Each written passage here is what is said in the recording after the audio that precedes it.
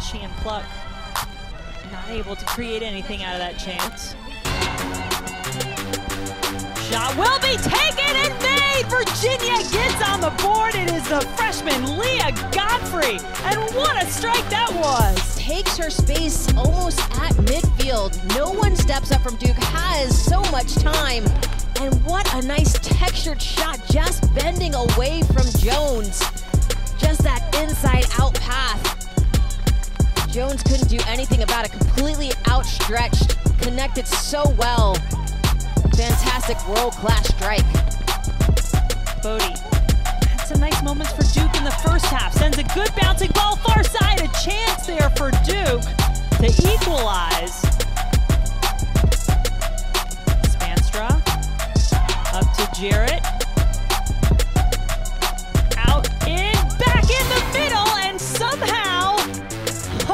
That is barely kept from rolling over the line. 53rd minute, Caitlin Cosme of Duke pulled one back.